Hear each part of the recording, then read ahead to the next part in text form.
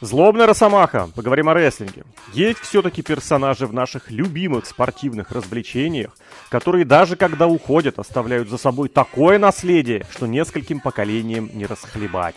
Один из таких персонажей – Ники Белла. За несколько дней до Расселмании Ники Белла высказалась, что ждет не дождется выходных, чтобы послушать речь Вейдера на церемонии введения новых участников в зал славы WWE. Вейдера. Все бы ничего, я бы тоже с превеликим удовольствием послушал, что расскажет Вейдер, но он подвел Ники Беллу и умер 4 года назад.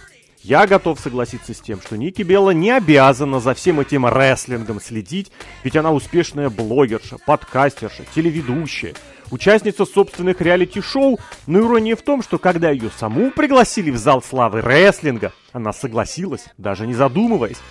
Пригласили, кстати, раньше, чем Вейдера. А ведь в том классе был, например, британский бульдог, так что она должна была знать, что в зал славы вводят еще и посмертно. Да и в целом, рассуждая о людях, которые находятся в солидном возрасте, всегда нужно включать свою башку. Тем более, если речь заходит о рестлерах, выступавших во времена, когда не очень заботились о здоровье. В те времена, когда куда больше рестлеров работали в полную силу. И Вейдер был одним из таких рестлеров. Собственно, на память о рестлинге Вейдеру досталось весьма прилично проблем со здоровьем, среди которых убитое зрение после того памятного инцидента, когда Стэн Хансен ему чуть не выбил глаз, а Вейдер заправил глаз обратно и продолжил матч.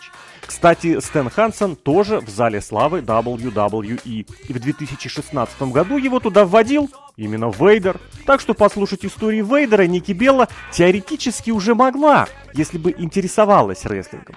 Между прочим, кстати, то было очень забавное зрелище. Я думаю, самые ироничные очки Вейдера с выпадающим глазом запомнили многие. Но зачем об этом знать блогерши, подкастерши, телеведущий и участницы реалити-шоу Ники Белли?